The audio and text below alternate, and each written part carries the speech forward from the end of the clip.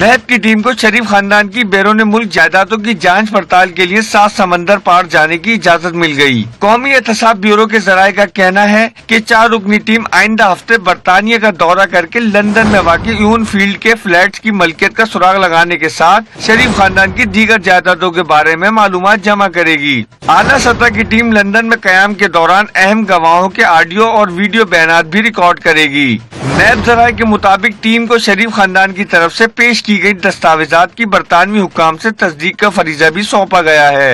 जराये ने दावा किया है कि टीम को वीजा दिलवाने के लिए नैब हुकाम ने बरतानवी हाई कमीशन से रबता कर लिया है दूसरी तरफ नैब ने शरीफ खानदान की लंदन जायदाद से मुतालिक दस गवाहों की फहरिस्त तैयार कर ली है ये गवाह लंदन जायदाद से मुतालिक शरीफ खानदान के खिलाफ एहतसाब अदालत में शहादत रिकॉर्ड